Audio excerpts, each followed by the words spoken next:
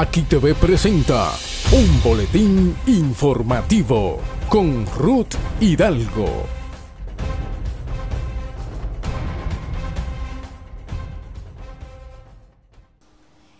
La directora ejecutiva de Participación Ciudadana, Rosalia Sosa, rechazó hoy declaraciones del cardenal Nicolás de Jesús López Rodríguez sobre el embajador de Estados Unidos, Jim Brester, y confió que las mismas no se repitan. López Rodríguez pidió ayer a Brester, quien es homosexual, que se meta en su embajada y como esposa, que es de un señor, que se ocupe de la casa en respuesta a las recientes críticas del diplomático a temas internos como corrupción.